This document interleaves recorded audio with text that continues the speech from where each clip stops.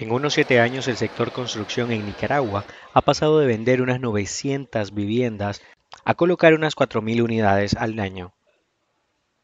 Pero la meta de la Cámara de Urbanizadores de Nicaragua es cerrar este 2016 con la colocación de unas 5.000 viviendas. De ese gran total, el fuerte son viviendas de interés social, cuya participación en el mercado nacional es del 60% asegura el nuevo presidente de la Cámara de Urbanizadores de Nicaragua, Héctor Lacayo. Lacayo se considera un hombre amigable, accesible y presto a apoyar toda iniciativa donde la educación esté presente. Actualmente es gerente general de Bienes Inmobiliarios Centroamericanos.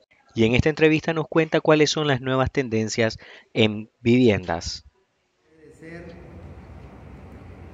En vertical para densificar principalmente la ciudad, para que vivan cerca de todo el desarrollo de la ciudad, como son los, centros comerciales, como son los hospitales, como son los colegios, como son el, el mismo trabajo de cada uno,